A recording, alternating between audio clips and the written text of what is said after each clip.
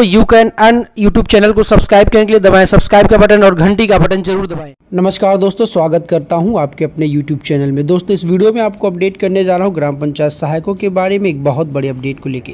दोस्तों, क्या आपको पता है कि अगर आप काम नहीं करेंगे तो आपको आपकी सेवा से निकाल दिया जाएगा। यानी कि 60 पंचायत सहायकों की सेवा समाप्त हो चुकी है। जिला स्वच्छता समिति की हुई बैठक शौचालय अपूर्ण होने पर अट्ठासी पूर्व प्रधानों से होगी रिकवरी। दोस्तों, आपको इस वीडियो में बताऊँगा किस तरीके से जो प्रधान रह चुके हैं, उनसे भी ना कराए गए कामों का पैसा लेने की रिकवरी कराई जाएगी।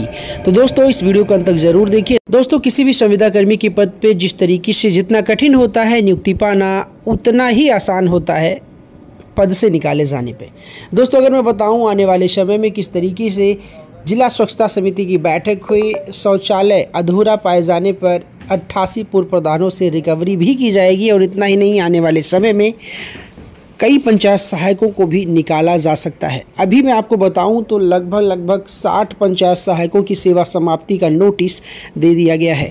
दोस्तों, इस वीडियो को अंत तक ज़रूर देखिए तो हम लोग इस वीडियो को शुरू करते हैं। सभी ब्लॉक में खराब प्रदर्शन वाले दस दस पंचायत सहायक शामिल हैं।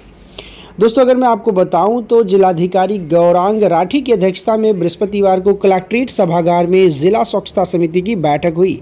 इसमें कूड़ा प्रबंधन पर ज़ोर दिया गया। लापरवाही में अट्ठासी पूर्व प्रधानों और सचिवों की रिकवरी छः ब्लाकों से दस दस खराब पंचायत सहायकों की सेवा समाप्त करने और दो कर्मियों पर कार्रवाई का निर्देश दिया गया। दोस्तों, हालाँकि इस तरीके से चीज़ें क्यों हो रही हैं? अगर आप सरकार द्वारा दिए गए सुझाव को नहीं मानेंगे, सरकार द्वारा दिए गए शासनादेश का पालन नहीं करेंगे तो आने वाले समय में आपको भुगतना पड़ेगा। जिलाधिकारियों ने ओडीएफ फ़ेज़ टू के तहत नवसिर्जित परिवारों एवं चयनित गाँवों की प्रगति पर बल गोवर्धन योजना पर विचार, स्वच्छ सर्वेक्षण 2023 सहित अनेक बिंदुओं पर विचार विमर्श किया। इस दौरान स्वच्छ भारत मिशन एवं वित्त आयोग की धनराशि से वित्त पोषित प्राइमरी कूड़ा कनेक्शन पॉइंट एवं कचरा पात्र निर्माण के अनेक मॉडलों का अवलोकन भी किया गया। दोस्तों, ग्राम पंचायतों में सामुदायिक शौचालय निर्माण और संचालन को लेकर जाँच रिपोर्ट पर अट्ठासी ग्राम पंचायतों के पूर्व प्रधानों और सचिवों को रिकवरी नोटिस जारी करने का निर्देश दिया।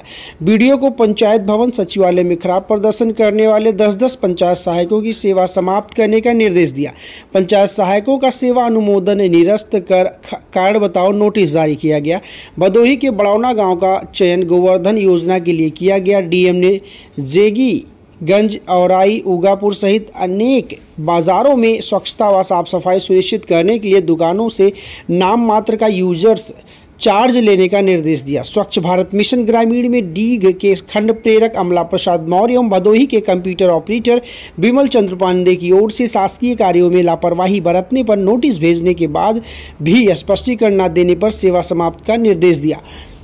सूर्यामा के खंड प्रेरक के अनुपस्थित रहने पर वेतन रोकने का निर्देश दिया। इस मौके पर CDO Bhanu Pratap Singh, CMO doctor Santosh Kumar Chak, DPRO Rakesh Kumar Yadav आदि मौजूद रहे। दोस्तों, इस वीडियो में मैंने आपको बताया कि इस तरीके से जो ग्राम प्रधान पहले से रह चुके हैं, उनकी सेवा समाप्त हो चुकी है, उनसे भी रिकवरी का आदेश दिया गया है। तो आप इस भ्रम में मत रहिए। अगर आप एक ग्राम पंचायत सहायक हैं, आपको सरकार एक विलेज लेवल इंटरप्रेनर यानी कि दो सौ चालीस से ज़्यादा सेवाएँ दे रही हैं, उसके बदले में आपको प्रोत्साहन राशि भी हर काम को कर करने की दे रही है तो आपको निकालना भी बहुत आसान है। तो इन सभी चीज़ों को ध्यान में रख के सरकार द्वारा दिए गए शासनादेश का सौ प्रतिशत ईमानदारी से पालन कीजिए, ताकि आने वाले समय में आपको बहुत कुछ लाभ मिल सके और आने वाले समय में आपको जिस तरीके से राजस्थान में पंचायत सहायकों को अस्थायी किया गया है, उसी तरीके से सही काम, सही दिशा में, सही तरीके से काम करने वाले पंचायत सहायकों को भी अस्थायी किया जा सकता है। जहाँ तक मेरा रिसर्च और अनुमान कहता है।